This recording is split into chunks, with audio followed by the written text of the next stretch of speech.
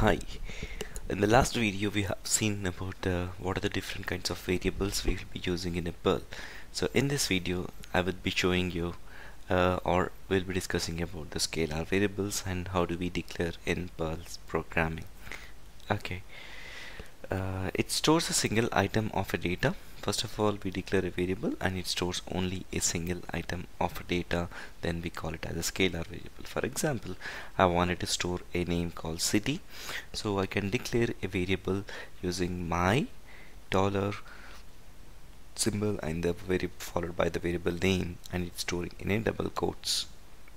And my country and USA either the data can be stored in the in in double quotes or and in a single quotes. We'll see what is double quotes and what is single quotes. What is the difference between them? And uh, you can also add a numeric values or a floating values and either it in the form of the quotes or it can be directly written with the numbers. So so here if you see I'm not adding any quotes. Uh, that means it is considering it as a numeric value. If it is a quotes it could consider it as a text right? So in this way we declare a scalar variables. Type conversion. What is a type conversion? It's any languages that converts strings and numbers whenever necessary that is numbers to strings or strings to numbers okay? Uh, for example in order to add a floating point number. So first uh, let us take a number one is nothing but we have two variables number one and number two. Number one is a normal integer and number two is a floating value.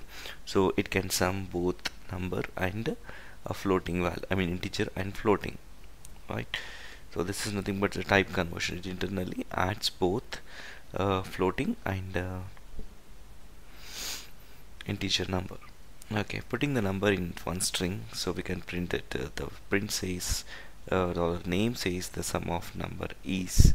So it displays the results. Quoting strings single quote don't expand variable or escape sequence. So as I said we are going to see the differences right?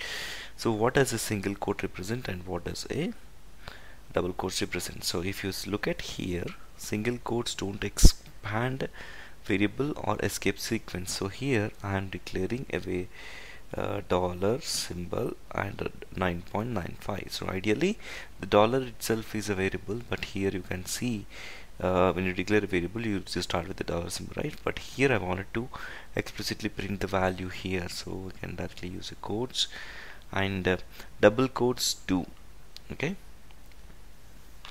So here this will print the value of it dollar 9.95 okay if you wanted to print any variable data then you can directly if you feel like in this particular string uh, or the data you want you wanted to print some variable then you can go for double quotes. If you don't want to print any variables then you can go for a single quotes. Use a backslash to escape special characters in double quoted strings. For example in a double quote uh, if you wanted to use a extra backslash or quotes quotes then you can use if backslash. For example if you're not giving a backslash here it will think like the print command has been ended here but you wanted to print the statement on the output screen with double quotes. In that case you can use backslash. In the same way it is not only used for double uh, backslash it also used for dollar dollar also. If you want to print the dollar symbol then it will also print the dollar symbol or else it will be thinking like it's something unusual. Okay? So in this way we can use a quoting string. So better quote marks. This can look ugly. So he said uh, the price is this. So this is a tidier alternative. So either I mean if you look at this it looks like double quotes and it will be confusing right? So in this uh, we have an another option or alternative that is by coding if you wanted to code a double quotes so you can you will have a function called qq and place it in a bracket and you can just print it directly. And if you wanted to use a single quotes then you can use a single quote then it can print it okay so that's that's the importance of the quotes and uh, I hope you have understood of what is uh, what mean by scalar variables. Now let's, let's see undefined values. So sometimes we declare a variable and we don't use it. And uh, what is the status of that one? So Perl by default it stores the special value called undef how do we test it uh, we can test using a define function.